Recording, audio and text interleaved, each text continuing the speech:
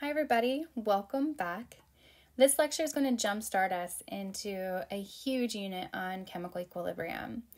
In fact, it's about three chapters that are wrapped up into this unit. And so, this initial chapter will lay that foundation um, for you to be successful in the next two chapters. So, it's really important that you really understand this material and you can apply what you've learned to more specific examples in the future chapters. So, for example, this is just generic kind of chemical equilibrium, laying the foundation in these next series of videos. And then the next set of videos will be about um, acid base equilibria. And then finally, we will have a whole um, discussion on aqueous ionic equilibrium.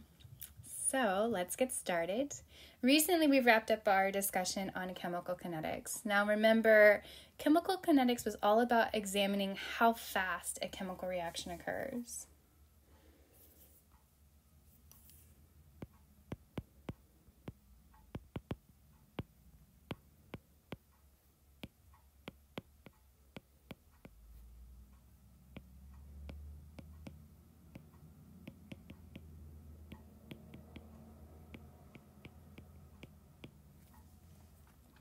Now, chemical equilibrium is actually going to allow us to see how far a chemical reaction goes.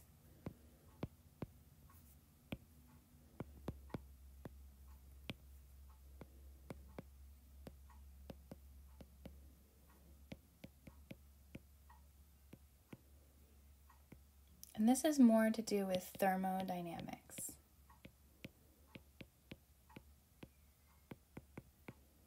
Determining if something, for example, is spontaneous or not spontaneous.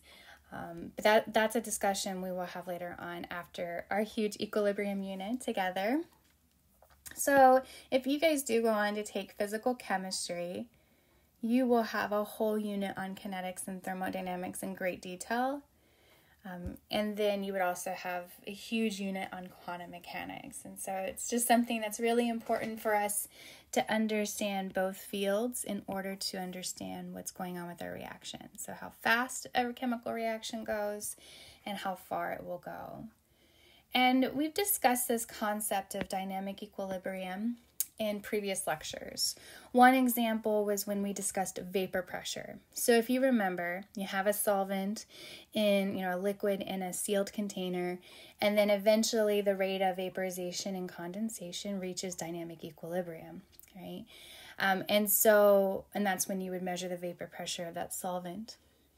We also discussed dynamic equilibrium in terms of forming a solution um, with a solute and solvent, and that the rate of dissolution versus the rate of recrystallization eventually reach dynamic equilibrium.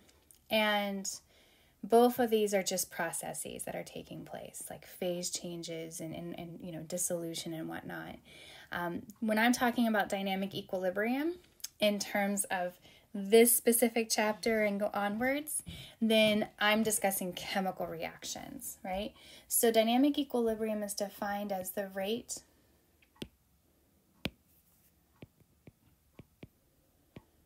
of the forward reaction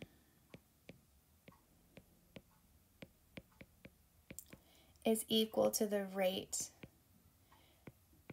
of the reverse reaction.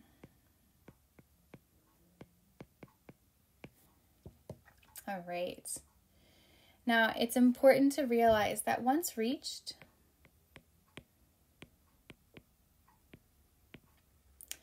the concentration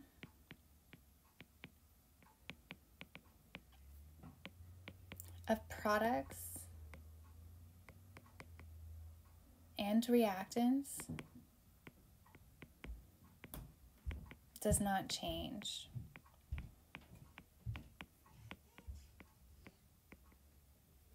As long as temperature is constant.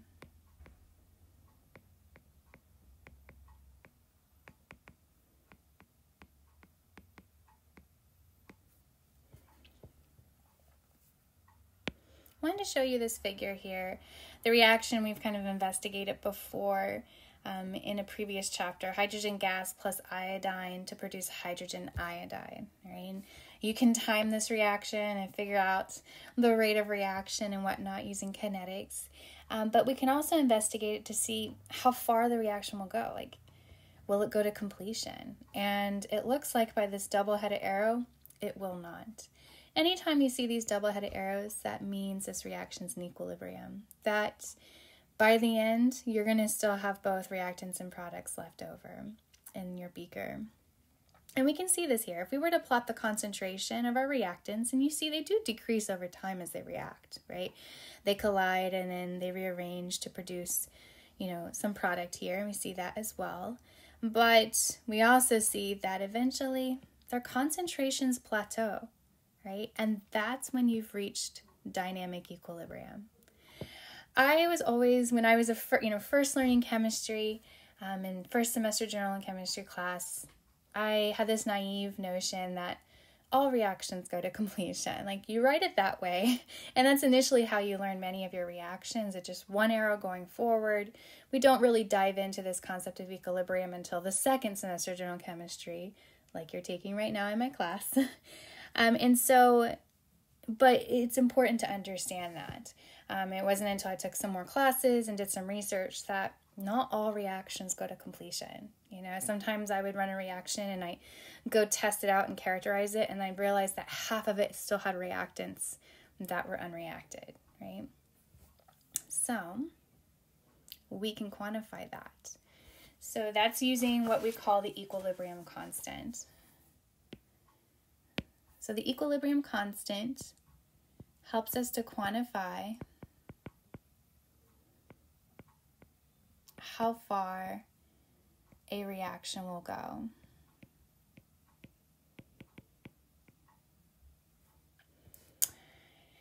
You know by now in my class that this particular course is very data driven, um, that we are quantifying anything and everything and working with data analysis um, to, to better understand what's going on in our beaker. Okay? The equilibrium constant is represented by the capital letter K. Please do not confuse this with the rate constant we learned in chemical kinetics um, lectures, which is little k, and I always would write it as a cursive k to really distinguish between the two. So the equilibrium constant is a capital K. So if we have this particular reaction taking place, the way you would represent the equilibrium constant expression for this reaction, it's always products over reactants. So the concentration of C to the little c power times the concentration of D to the little d power over the concentration of A to the little a power times the concentration of B to the little b power. So always remember products over reactants. That's really, really important. And that you must have a balanced chemical equation and that those stoichiometric coefficients are at the top there right, as exponents. I see that students often forget that. So just make sure you remember that. Products over reactants here. And I'm writing it in concentration, so a lot of times we are working in molarity because we'll be looking at a lot of aqueous systems. However, we also will be investigating gases, and so there will be um, pressure units that we could also use, but that will be in a future video. I'm going to record that one separately. Another thing to remember is that by standard, K is unitless. We never try to figure out what the specific units are for K for each um, reaction that's in equilibrium, which is another thing that distinguishes it from the rate constant. Remember, with the rate constant, the units were always different um, depending on the reaction that was taking place and the order and all that stuff. Um, for equilibrium constant, you don't have to worry about reporting units. All right, so there's different ways we can represent um, the equilibrium constant. I don't want you to get confused thinking that, oh, they're different from one another. It's pretty much saying the same thing. So sometimes you'll see it written as Kc. When you have that subscript, subscript C, that's just saying that you're working in units of concentration. And then if you have KEQ, that's just another way to emphasize that it's the equilibrium constant. So You'll see it, um, if it's very generic, you'll see it as KQ or just K. Either one's accepted. Now, if you're working with KP, it's important to know if that's the case. Then you're working in pressure units. And KP and KC are not always equal to one another. So that's why I said it's really important to know if you have a KP value or a KC value, what units you're working with. KA is going to be the next chapter for sure when we work with weak acids. And then KB is when we'll be working with weak bases. We will also be working with KSP, which will stand for the solubility product. And that's when you have an ionic compound that's not very soluble in water, but is slightly soluble, just a little bit. So that will be the KSP. And then KF is formation. So we will learn at the end of this huge unit here, we'll talk about complex ion equilibria and that when they form, you look up their KF value for that formation. So just so you understand, if you see KC or KA or KSP, it's always, always products over reactants. That never changes. That subscript only allows you to recognize that what specific reaction is taking place in your beaker. That's all there is to it. Okay?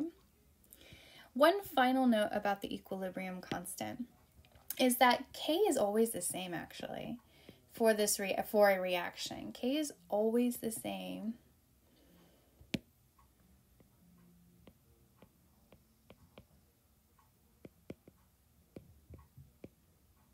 At constant temperature. So you'll hear me say that quite often. You need to make sure you're at constant temperature because the equilibrium constant will change if it's at different temperatures.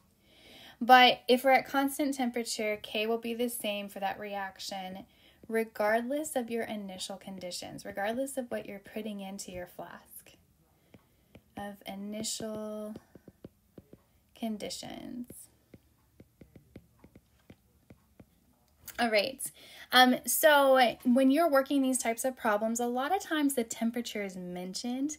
Um, so you probably will not need to use that temperature anywhere in your calculations. It's only there to indicate that this data was collected at a constant temperature. Okay, I just wanted to point that out. I know sometimes when you see data, you're like, I've got to use it. Um, that's not always the case. Now, I wanted to show you an example, once again, using our favorite reaction mechanism, um, or just reaction, hydrogen plus iodine to give hydrogen iodide, right? And you can see here that we have the initial conditions and we have the equilibrium concentration. So the equilibrium concentrations is when this reaction has had enough time to reach dynamic equilibrium. And you can see that it changes from initial to final to the equilibrium conditions. And when we do products over reactants, we always end up with the same number, right, for the equilibrium constant because we're always operating here at 445 degrees Celsius.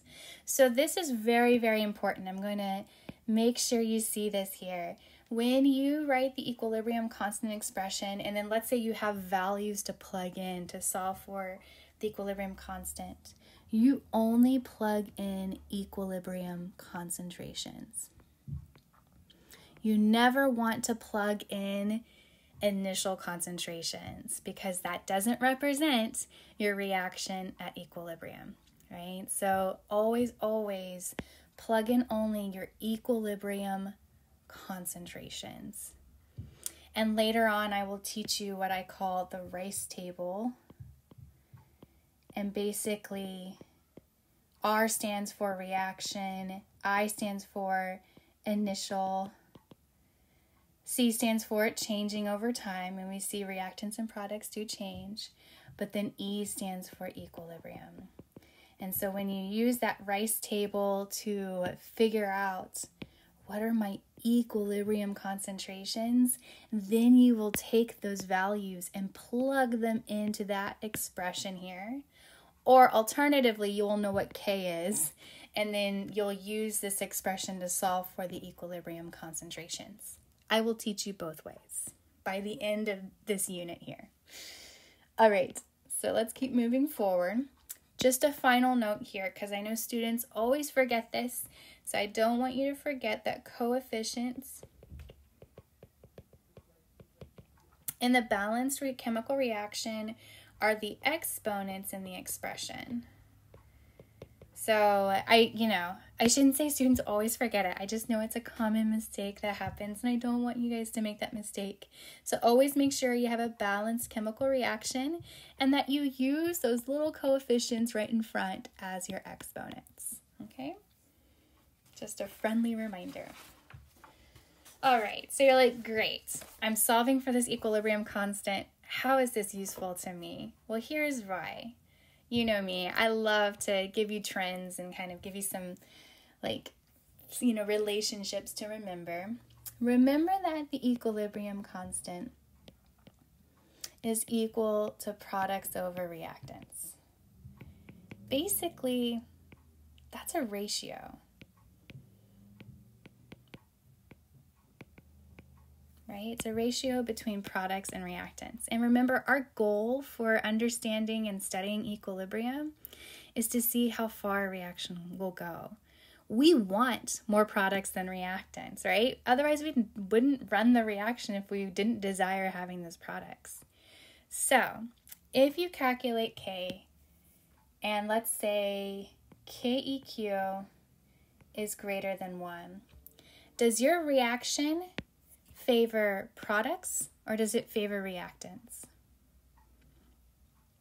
Good, it favors products. Think of it like a ratio. If I want my KEQ to be greater than 1, I need to have more products than reactants. My numerator needs to be larger than my denominator here, right? So KEQ reaction favors the products